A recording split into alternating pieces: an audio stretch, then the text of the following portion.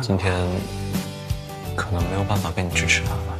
嗯嗯，那你先忙吧，没关系，你不用担心我。他不说要追你吗？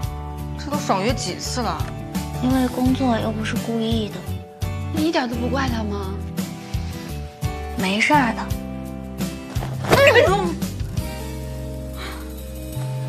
我不是故意要爽你约的，我就是最近杂七杂八的事儿太多了。从今天起，我一定会认真、努力、好好的追求你。真的。我担心他是一时兴起。没事儿。你要是担心呢，就考验他。明天有空吗？老哥哥给你发消息了。嗯。哎，等等，你要回什么？可能没有空吧。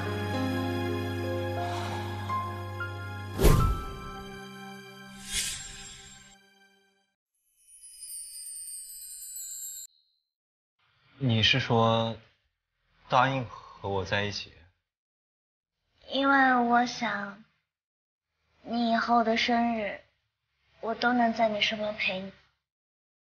我也是第一次谈恋爱，第一次这么喜欢一个人，所以你可别想耍了我。那我要是一直不答应你呢？那你就每天都等着我去追你，毕竟你这辈子估计也就谈这么一场恋爱了。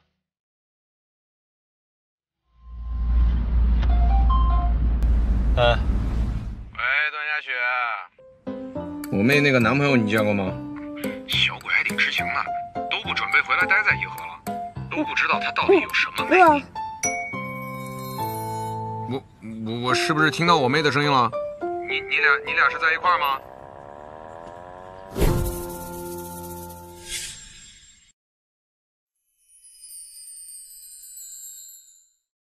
你背单词去地上背干嘛？这不叫刺激吗？不容易犯困。刺激？喜欢刺激？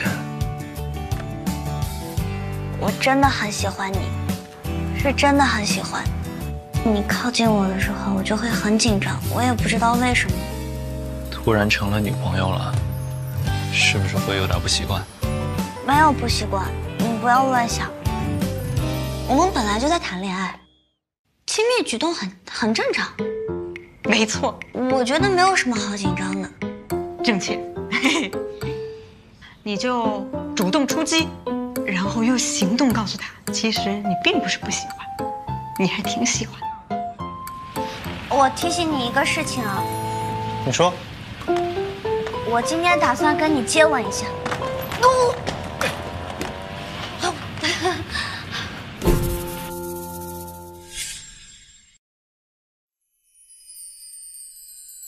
哪儿？等一下。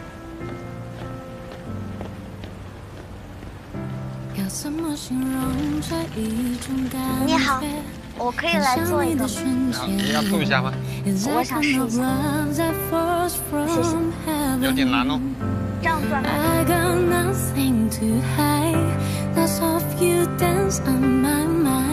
想吃棉花糖啊？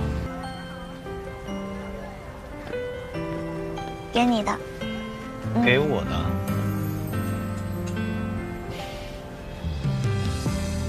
这弄得跟在哄小孩一样。是，哄老小孩。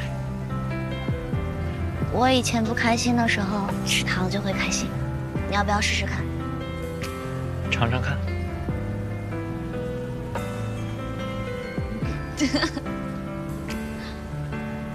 甜吗？很甜，谢谢。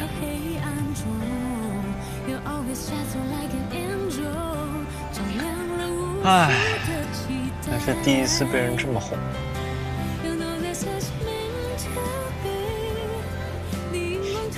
你要不要尝尝？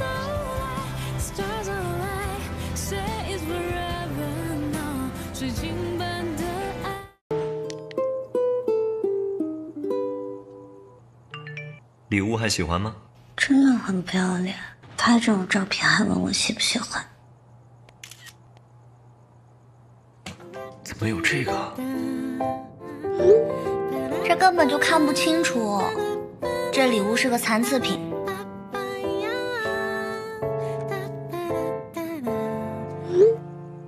答应我追你，立刻双手奉上清晰大图。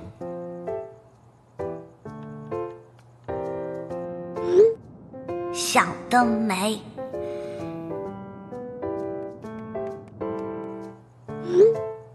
本来想用这招加快追你的进程，没想到第一步你就没同意，只能大材小用，先争取一个机会。诡计多端的老东西，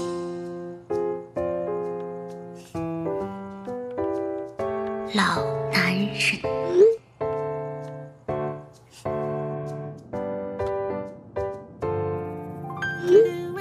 毕竟想要对付你这种小狐狸，还是需要技高一筹的。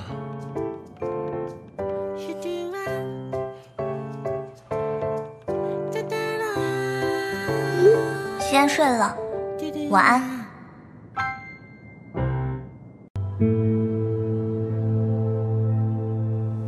我想了想，还是不去南吴读大学了。现在打工赚钱比较重要。不行啊，你必须去过念大学。我们家现在欠这么多债，读个大学真的没有必要。妈妈白天努力工作，晚上辛苦一点做些代工，这咬着牙也会慢慢还的。不能因为我们上一代的错误影响你的未来。可是你也知道现在的没有可是，必须把大学给我念完。如果不念完，就别叫我妈。吃饭了吗？出院手续办好了吗？咱不出院。妈，咱不用出院。我跟我大学同学借到了三万块，接下来咱们就在这儿好好养病。儿子，你还没过够欠人钱的生活吗？一天不把钱还完，一天就抬不起头来。妈妈不希望你以后负担更重，把钱还回去好不好？欠下的钱还没还完，小颖他们还需要我们照顾，不能再欠一笔新的了。妈要是哪天死了，钱都还没还完，你该怎么办？不会死的妈，你说什么呢？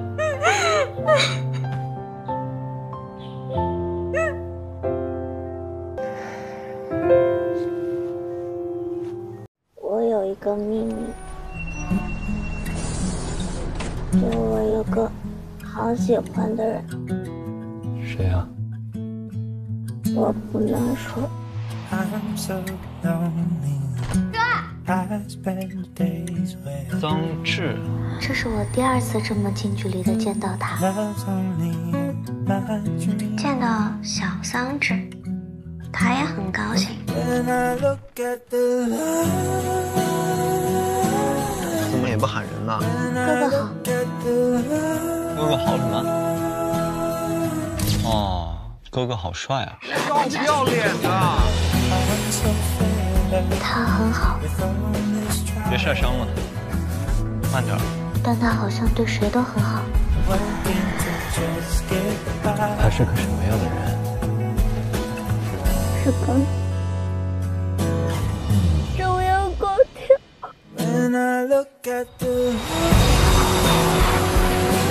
可能在他心里，我们不会有除了兄妹以外的关系。那这 black, 原来时间真的有魔法，拉近了我们的高度和距离。我的梦想，对家，虚无中